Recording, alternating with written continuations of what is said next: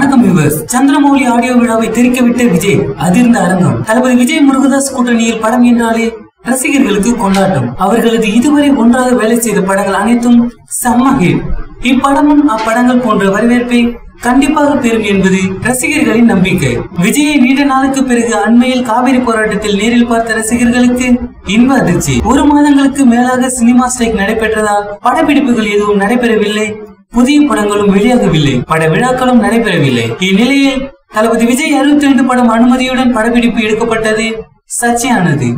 தற்போது ஸ்டைக் வாபஸ் பெறப்பட்டு மீண்டும் திரையுலகம் செயல்பட தொடங்கியுள்ளது. புதிய படங்கள் வெளியாகிவிட்டன. படப்பிடிப்பு வேலைகளும் தொடங்கப்பட்டுள்ளது. இதனால் விஜய் அறுபத்தி ரெண்டு படத்தின் அடுத்த கட்ட படப்பிடிப்பு நடந்து வருகிறது. விஜய் கீர்த்தி சுரேஷ் இருவரும் அதில் கலந்து கொள்கிறார்களாம். இந்த நேரத்தில் இப்பட படப்பிடிப்பு ஆரம்பிக்கும் போதே தீபாவளி ரிலீஸ் சென்றனர் ஆனால் நடுவில் திடீர் ஸ்ட்ரைக் வந்ததால் படத்தின் படப்பிடிப்புகள் அனைத்தும் நிறுத்தி வைக்கப்பட்டது. இதனால் பட ரிலீஸ் தள்ளி போகுமோ என்ற வருத்தம் ரசிகர்களிடம் இருந்தது. தற்போது என்னவென்றால் படக்குழுவினர் இன்னும் நேரம் இருப்பதால் முதலில் பிளான் செய்தது போல் கண்டிப்பாக படம் இவ்வருட தீபாவளிக்கு ரிலீஸ் என்று கூறப்படுகிறது. இயக்குனர் திரு இயக்கத்தில் நவரச நாயகன் கார்த்திக் மற்றும் அவரது மகன் கௌதம் கார்த்திக் நடிப்பில் உருவாகி வரும் படம் மிஸ்டர் சந்திரமௌலி.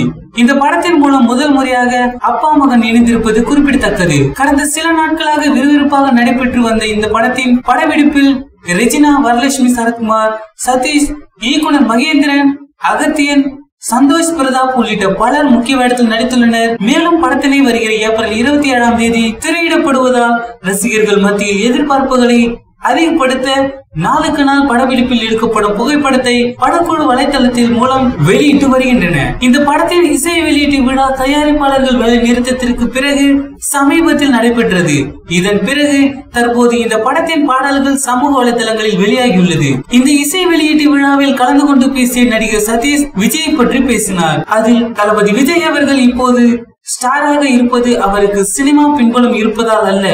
அவரின் தன்னம்பிக்கையும் அவருடைய விடாமுயற்சியும் தான் என கூறினார். அவர் சொன்னவுடன் அங்கிருந்த அரங்கமும் அதிரும் அளவிற்கு கத்த தொடங்கினார்கள். எந்த ஒரு விழா மேடை இருந்தாலும் தளபதி போகாவிட்டாலும் தளபதி பேர் சொன்னாலே மேடையே அதிர்கிறது. இதை பத்தின உங்களுடைய கருத்துக்களை கீழே இருக்கும் கமெண்ட் பாக்ஸ்ல கமெண்ட் பண்ணுங்க. இந்த வீடியோ பிடிச்சிருந்தா லைக் பண்ணுங்க ஷேர் பண்ணுங்க. மேலும் இது போன்ற செய்தியை உடனுக்குடன் அறிந்து கொள்ள நம்ம சேனலை சப்ஸ்கிரைப் பண்ணுங்க.